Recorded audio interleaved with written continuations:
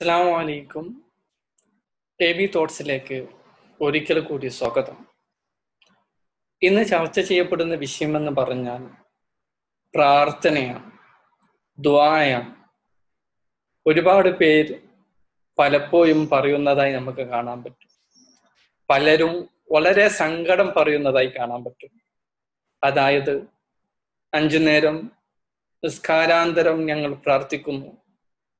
പതിരാ നിസ്കാരങ്ങൾ നിസ്കരിച്ച് പ്രാർത്ഥിക്കുന്നു. ഒരുപാട് ദ്വാകളും ദിക്കറുകളും പറഞ്ഞ് സ്വലാത്തുകളും പറഞ്ഞു ദ്വാ ചെയ്യുന്നു. ഫലം ലഭിക്കുന്നില്ല. എന്തുകൊണ്ടാണ് അങ്ങനെ സംഭവിക്കുന്നത്?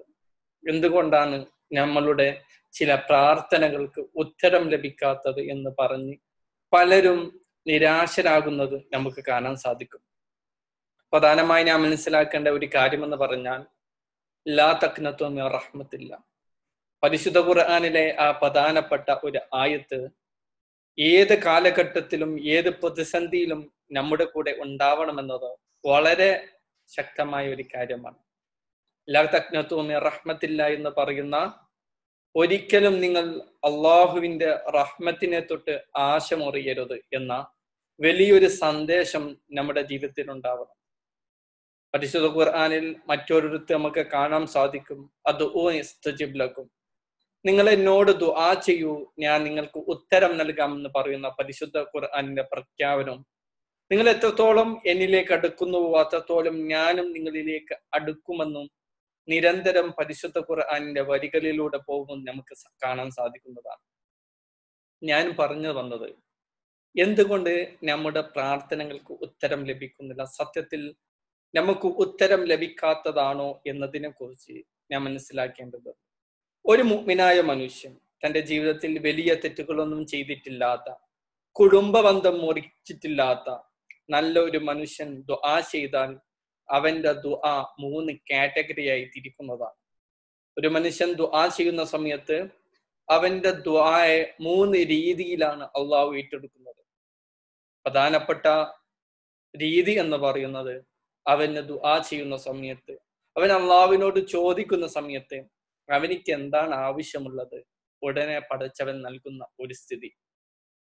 രണ്ടാമത്തെ സ്ഥിതി എന്ന് പറയുന്നത് അവൻ ഒരു കാര്യം ചോദിച്ചാൽ ഒരു പ്രയാസം നീങ്ങിക്കിട്ടാൻ ചോദിച്ചാൽ അള്ളാഹു അവനിക്ക് അതിന് ഉത്തരം നൽകുന്നത് ഒരു പക്ഷെ ആ പ്രയാസം നീക്കിക്കൊണ്ടായിരിക്കില്ല. മറിച്ച് അവനിക്ക് ഭാവിയിൽ സംഭവിക്കാൻ പോകുന്ന ഏതെങ്കിലും വിപത്തുകളെ അല്ലെങ്കിൽ ഏതെങ്കിലും ഒരു നന്മ അധികരിപ്പിക്കൽ കൊണ്ടായിരിക്കും. മൂന്നാമത്തെ രീതി എന്ന് പറയുന്നത് അവനിക്ക് ആഹ്റത്തിൽ അതിനുള്ള ശക്തമായ വലിയൊരു പ്രതിഫലം നൽകൽ കൊണ്ടാണ്. ഈ മൂന്ന് രീതിയിലാണ് പ്രാർത്ഥനയെ അള്ളാഹു സ്വീകരിക്കുന്നത്. പ്രാർത്ഥന എന്ന് പറയുന്നത് സിലാഹുൽ മുഅ്മിൻ. പ്രാർത്ഥന മനുഷ്യന്റെ മുസ്ലിമിന്റെ മുഅ്മിനിന്റെ ആയുധമാണ്. അതൊരു ഇബാദത്താണ്.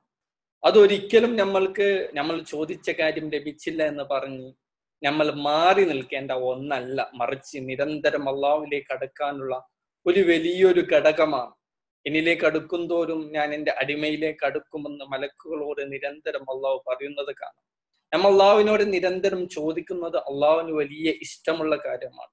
നിരന്തരം ചോദിച്ച് ചോദിച്ച് കേണപേക്ഷിക്കുന്നത് അള്ളാഹു ഒരുപാട് ഇഷ്ടപ്പെടുന്ന കാര്യമാണ്. പക്ഷേ ഞാൻ മനസ്സിലാക്കേണ്ടത് ഞാൻ ഉദ്ദേശിക്കുന്ന രൂപത്തിൽ അതിന് ഉത്തരം ലഭിക്കാതിരിക്കുമ്പോൾ ഞാൻ ഒരിക്കലും നിരാശരാവാൻ പാടില്ല. മറിച്ച് ആ പ്രതിസന്ധി ഘട്ടങ്ങളിൽ അള്ളാഹു എനിക്ക് നല്ലൊരു നന്മ ഇനി ഭാവിയിൽ നൽകുമെന്നൊരു പ്രതീക്ഷയോടെ അല്ലെങ്കിൽ ഞാൻ ഞാൻ ഈ അനുഭവിക്കുന്ന പ്രതിസന്ധികൾക്കും പ്രശ്നങ്ങൾക്കും പരിഹാരമായി പടച്ചവൻ എനിക്ക് ആഹ്രത്തിൽ നൽകുമെന്ന ശുഭാപ്തി വിശ്വാസവും നമുക്ക് വേണം. ഒരു മുഗ്മിനായ മനുഷ്യന്റെ ഏറ്റവും വലിയ വിശ്വാസം എന്ന് പറയുന്നത് ആഹ്രത്തിലുള്ള വിജയമാണ്.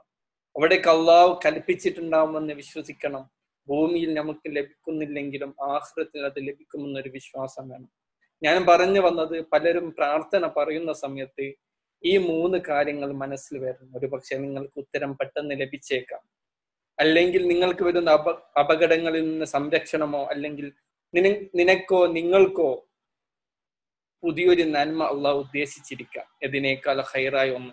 അല്ലെങ്കിൽ അതിൽ ആഹ്റത്തിൽ ലഭിക്കുമെന്ന വിശ്വാസത്തോടെ നിരന്തരം അള്ളാഹുവിലേക്ക് അടുക്കുക.